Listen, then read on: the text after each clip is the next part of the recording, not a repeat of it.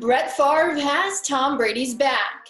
The Hall of Fame quarterback saying that Bruce Arians was in the wrong to call out Brady after the Buccaneers lost to the Saints on Sunday.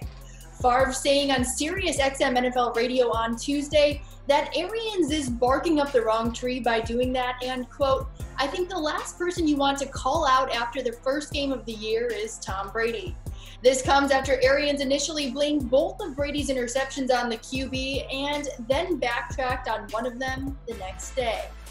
PNC Bank helping to make banking easier.